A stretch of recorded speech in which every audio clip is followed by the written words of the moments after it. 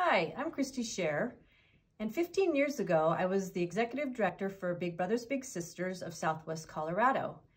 Our offices were located down at the Durango office suites on Main Avenue between 10th and 11th. And every day I would pass by two small offices that had two new people to town who were there to open up a new bank. That was Mike Burns and Beth Drum.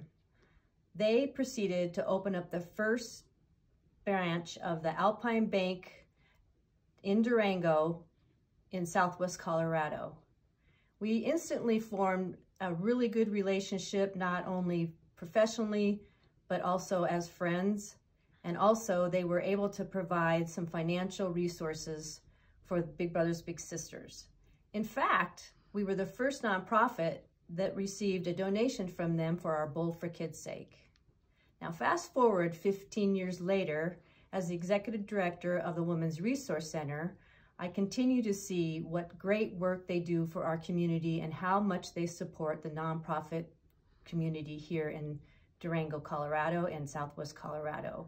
We are so grateful for their continued support of all the women and girls we serve in our community who are just trying to make ends meet. And I want to just say big shout out to Alpine Bank for being here for our community and supporting us throughout those 15 years. So thank you, former, current, and past employees for everything that you've done for those of us here who, who have benefited from your support. Thank you.